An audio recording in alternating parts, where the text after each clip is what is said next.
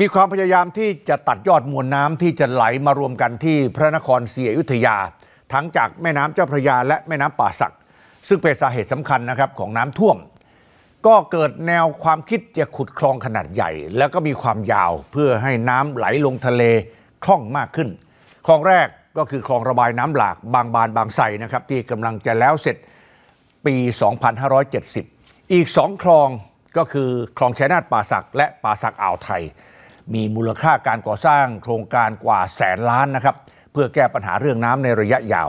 ติดตามรายละเอียดในรายงานคุณปัญญานานกระโทกครับสามแยกน้ำบริเวณหน้าป้อมเพชร ตัวเมืองพระนครศรีอยุธยา เป็นการมาบรรจบกันของสองแม่น้ำสายหลัก คือแม่น้ำเจ้าพยาและป่าสัก บริเวณนี้ชาวบ้านจึงใช้เป็นที่จุดดูมวลน้ำเพื่อเตรียมรับมือ การแก้ปัญหาน้ำในรุ่มน้ำเจ้าพยา โจทย์สำคัญคือทำอย่างไร ไม่ให้เกิดน้ำท่วมใหญ่เหมือนกับปี 2554 และทำอย่างไรจึงจะมีน้ำเพื่อทำการเกษตร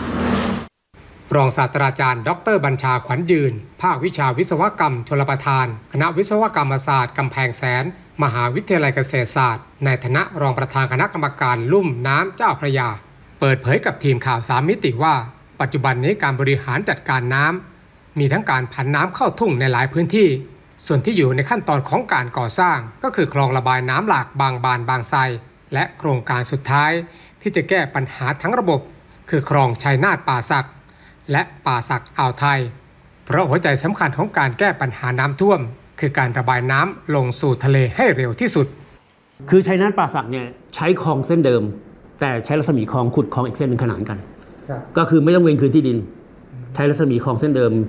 เอ่อคลองเส้นเดิมความจุประมาณ 200 ขุดเส้นใหม่ประมาณสัก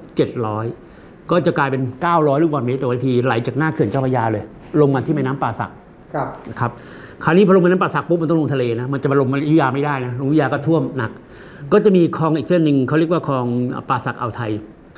คลองป่าสักอ่าวไทยเนี่ยจะเป็นการลงทุนที่คุ้มค่าที่สุดลำดับที่สองเพราะระดับแรกคือคลองคลองผ่านน้ำเมาไซประมาณ 2 0 0 0 0 2 0,000ล้านเนี่ยกำลังจะเสร็จแล้วป่าสักอ่าวไทยเนี่ยใช้เวลาก่อสร้างก็หลายปี น่าจะเป็นโครงการที่คุ้มค่าที่สุด ในระยะยาว ถ้าทำคอนี้เสร็จเนี่ยนะจะตอบได้เลยว่าไม่ต้องลุ้น ว่าจะท่วมหรือไม่ท่วม โอกาสท่วมน้อยมาก